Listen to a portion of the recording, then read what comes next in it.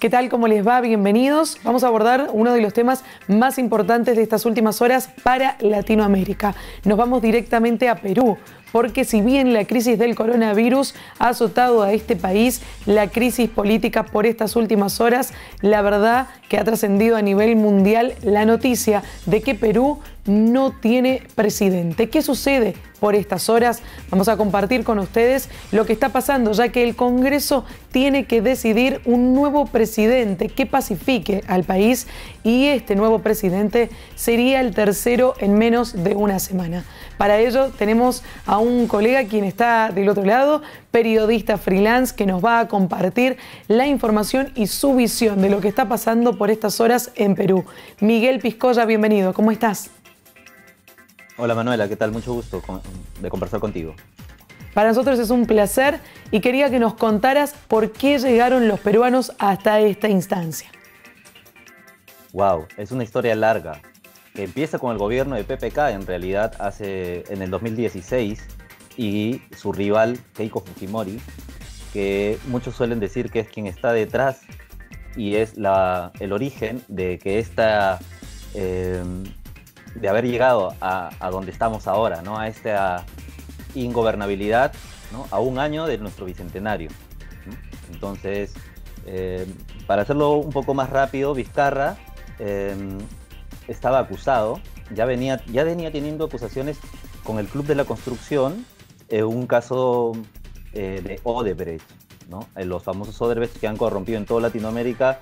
Eh, Vizcarra han salido algunos eh, testigos, unos testimonios, a acusarlo de que él también habría recibido dinero. Es por esto que el Congreso, ya oposición eh, permanente de Vizcarra, y Vizcarra, eh, una figura muy debilitada políticamente, toman la decisión de vacarlo.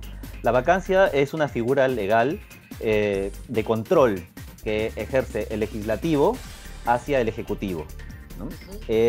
Entonces ellos necesitan 87 votos para decidir una vacancia presidencial, que quiere decir sacar al presidente por incapacidad moral permanente. Eso es lo que ha figurado eh, en las actas del Congreso para emitir este voto.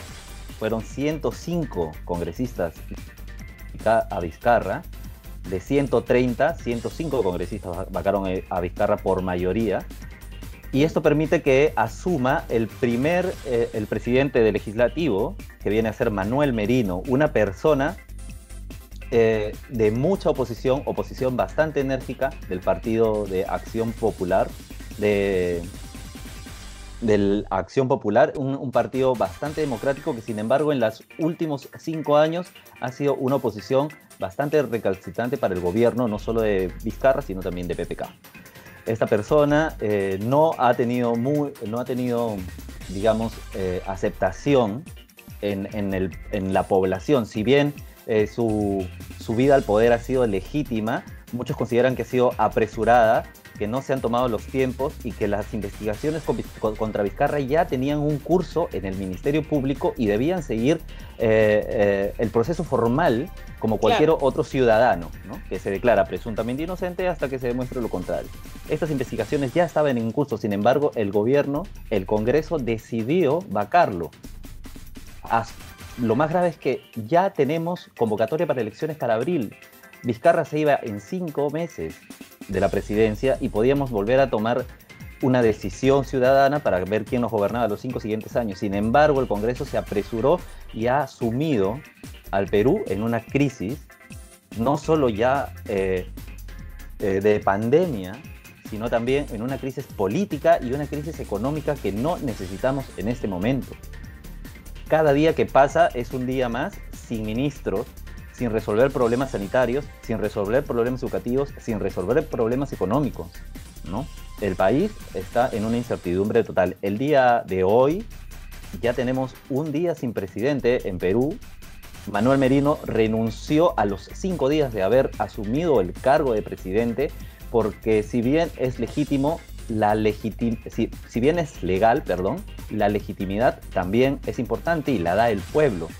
Y el pueblo, como nunca se ha visto en el Perú, eh, se ha manifestado en, casi todas las ciudades principales de nuestro país, con, masa, con marchas multitudinarias que no solo pedían la renuncia de Merino, sino también que eh, se lleve a cargo la reforma eh, electoral que permite que va a permitir que no ingresen a la política ningún ciudadano que esté investigado por corrupción. corrupción, claro. En, la política. una reforma que Vizcarra quería llevar a buen puerto y que le ha valido este, bastante popularidad. Vizcarra ha salido del cargo con eh, una popularidad que no ha tenido ningún presidente de la República cuando ha salido del cargo. 60% de popularidad es bastante. Y incluso hay gentes en las marchas que piden la vuelta de Vizcarra a la presidencia del Perú, cosa que eh, no es no, no, no se puede hacer eso.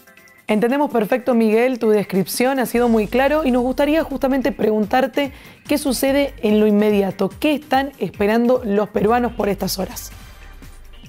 Por estas horas los peruanos tenemos ya 12 horas sin un gobierno presidencial, no hay presidente, salió Manuel Merino gracias, Manuel Merino presenta su renuncia gracias a las marchas multitudinarias que se dan en el país lideradas por jóvenes, no por ningún partido político. Los jóvenes, llamados los, la generación del bicentenario, han sido los que han tomado la calle y los que han eh, marchado para poder este, protestar contra el gobierno de Merino, a quien logramos destituir después incluso de tener dos pérdidas humanas de dos jóvenes que han fallecido lamentablemente por estos disturbios.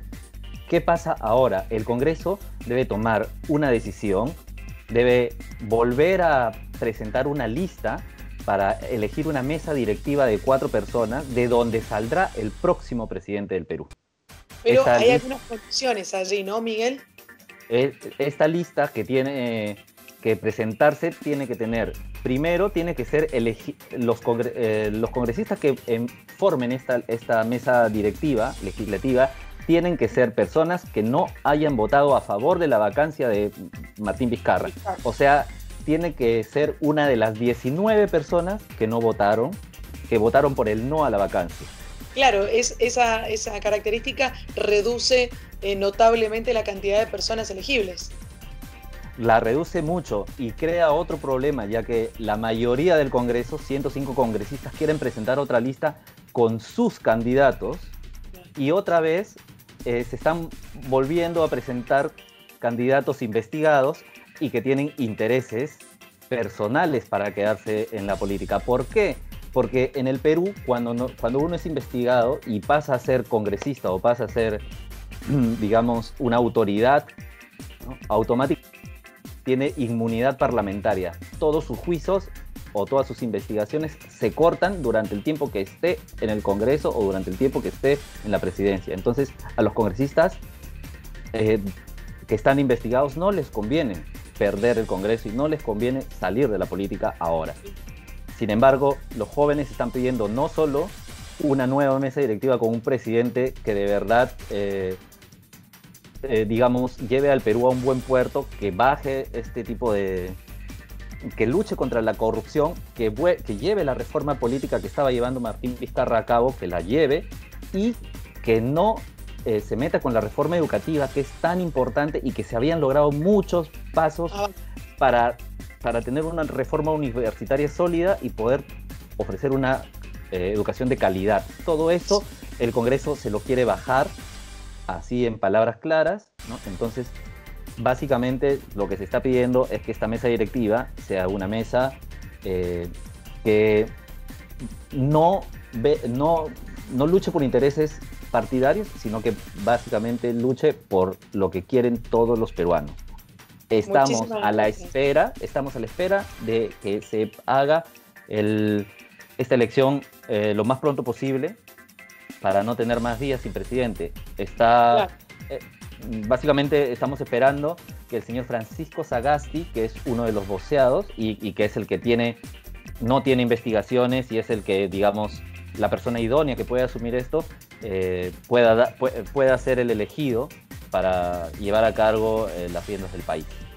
hay que seguir luchando y estamos atentos a que el Congreso tome las mejores decisiones. Las marchas siguen, hay marchas hoy, se, van a hacer marchas el día de hoy en, en muchas ciudades, el día de mañana, así que vamos a seguir en las calles hasta que el Perú este, logre tener un liderazgo otra vez y, pueda, y podamos avanzar y no seguir estancados en esta, en esta crisis.